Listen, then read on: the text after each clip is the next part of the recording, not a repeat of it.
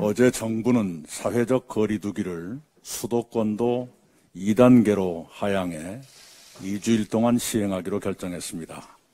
지난 2주일 동안 수도권은 2.5단계의 혹독한 거리두기를 시행했고 국민의 협조로 일정한 방역 효과를 거두었습니다.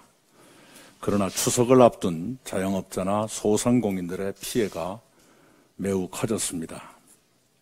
이번 거리두기 완화는 방역의 불안 요인이 될 수도 있습니다.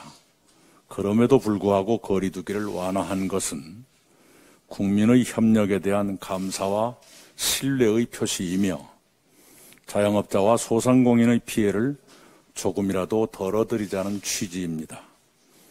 앞으로 2주일 동안 모든 국민께서 생활방역, 개인방역을 철저히 이행해 주시기를 간곡히 부탁드립니다. 어제 정부가 발표한 바와 같이 추석 연휴부터는 다시 특별 방역에 들어갈 것이라는 것도 기억해 주시기 바랍니다. 오늘부터 나흘 동안 국회 본회의 대정부 질문이 이어집니다. 지금은 코로나 국난의 시기입니다. 국민의 시선은 어느 때보다도 더 간절하게 국회로 향할 것입니다. 국민의 고통에 국회가 응답해야 합니다. 코로나 극복과 민생 지원에 집중하는 대정부 질문이 이어지기를 이루어지기를 바랍니다. 그러나 야당의 정치 공세에는 단호하게 차단할 것입니다. 어제 추미애 법무장관께서 아들 문제에 관한 심경과 입장을 밝히셨습니다. 우리가 충분히 알지 못했던 가족 이야기와 검찰 개혁을 향한 충정을 말씀해 주셨습니다. 당 소속 의원들의 노력으로 사실관계는 많이 분명해졌습니다. 그러나 더 확실한 진실은 검찰 수사로 가려질 것입니다.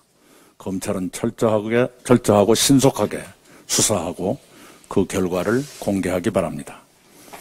정치권은 정쟁을 자제하면서 검찰의 수사를 돕고 그 결과를 기다리는 것이 옳다고 생각합니다.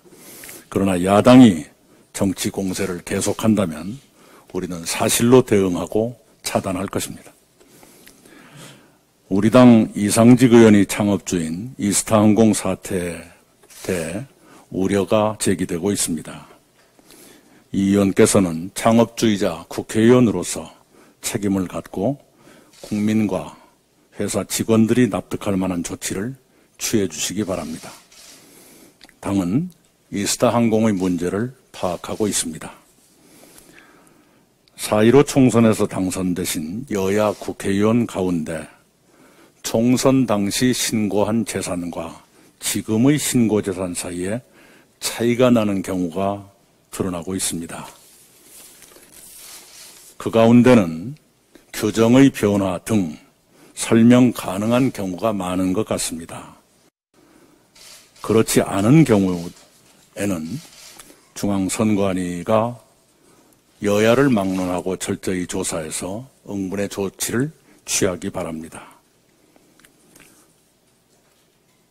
당도 선관위의 조치를 부하가며 대처하겠습니다. 이상입니다.